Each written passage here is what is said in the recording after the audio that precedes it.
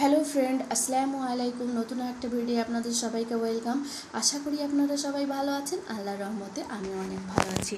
তো চলুন দেখে নেওয়া যাক আজকে ভিডিও তো এখানে আমি এক বাটি নিয়েছি গমের আটা আর ওই বাটির এক বাটি নিচ্ছি ময়দা আটা। তো বন্ধুরা এই নাস্তাটা চায়ের সঙ্গে খেতে খুবই ভালো লাগে। সকাল কিংবা বিকাল দুটো সময় এটা দিয়ে চা খেতে পারেন। তো দেখুন, এর মধ্যে আমি দিয়ে দিলাম এক চামচ নুন আর দিয়ে দিচ্ছি এক চামচ জোয়ান। তো জোয়ানটা হাতে একটু ঘষে তারপরে ওর মধ্যে দিয়ে দেব।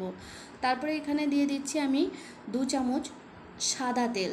সাদা তেলটা দেওয়ার পরে আমি ভালো করে ময়দাটা ময়ান দিয়ে মেখে নেব।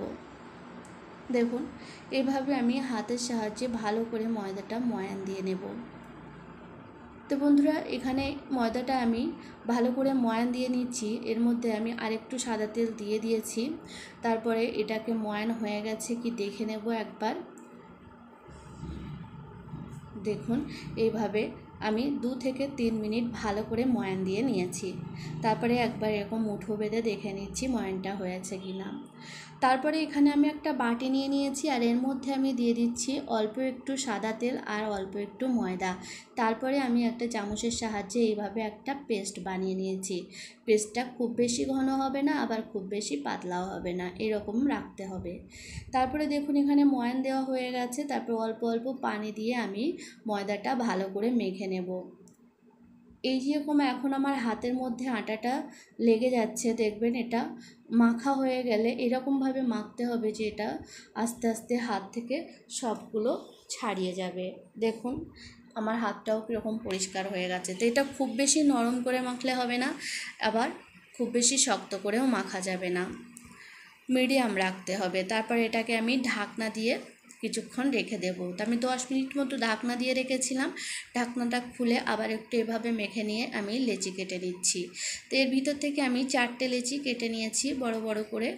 তারপরে আমি এটা রুটি নিই রুটির মতো করে বেলে নেব। তো বন্ধুরা, সাধারণত ময়দা দিয়ে খামির করলে মানে রুটি বেলতে একটু অসুবিধা হয়, আর এর মধ্যে আমি গমের আটা দিয়েছিলাম, সেজন্য দেখুন, রুটিটা বেলতে আমার কোনো অসুবিধা হয়নি। খুব বেশি পাতলা আবার খুব বেশি মোটা করব না, মিডিয়াম রেখে রুটিটা বেলে নিয়েছি, আর এইভাবে একটা গ্লাসের সাহায্যে আমি এইভাবে পুরীর শেপ দিয়ে কেটে নিচ্ছি।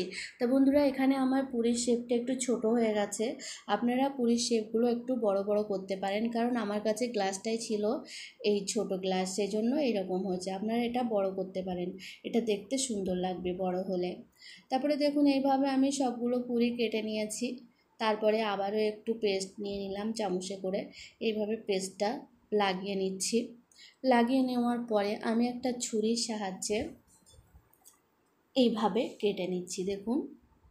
এভাবে আমি ছুরির সাহায্যে কেটে নিয়ে মাঝখানটা দিয়ে এইভাবে উল্টে দিয়ে তারপরে দেখুন এর দুটো মুখ এক জায়গায় করে আমি জয়েন করে দিচ্ছি। এইভাবে আস্তে আস্তে কেটে নিতে হবে।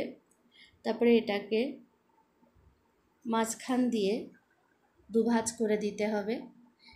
এইভাবে তারপরে এটা ঘুরিয়ে নিয়ে মাঝখানে একটা আঙুল দিয়ে এইভাবে দুই মুখে অল্প পানি দিয়ে জয়েন করে দিতে হবে। তো এইভাবে সবগুলো আমি বানিয়ে নিয়েছি, বানিয়ে একটা প্লেটের মধ্যে উঠিয়ে নিচ্ছি। দেখুন, এইভাবে সবগুলোই আমি বানিয়ে নিয়েছি। তো আমার পুরিগুলো ছোট হয়েছিল বলে এগুলোর শেপগুলোও ছোট ছোট এসছে। আপনারা একটু বড় করে বানানোর চেষ্টা করবেন। তো খুব ভালো লাগবে দেখুন। তারপরে আমি ডিপ তেলে এইভাবে এপিট এপিট দুপিট লাল লাল করে ভেজে একটা প্লেটের মধ্যে তুলে নিচ্ছি। তারপরে দেখুন, এটা কত সুন্দর মুচমুচে হয়েছে। আমি একটু এইভাবে দেখাচ্ছি আওয়াজটা শুনুন। এটা চায়ের সঙ্গে পরিবেশন করে দেবেন। খুবই ভালো লাগবে। ভিডিওটা যদি ভালো লেগে থাকে, তো একটা লাইক করবেন। একটা ভেঙে দেখিয়ে দিচ্ছি কতটা মুচমুচে হয়েছে। আর আমার চ্যানেলে নতুন এসে থাকলে প্লিজ প্লিজ বন্ধুরা আমার চ্যানেলটিকে সাবস্ক্রাইব করে আমার পাশে থাকবেন। Thank you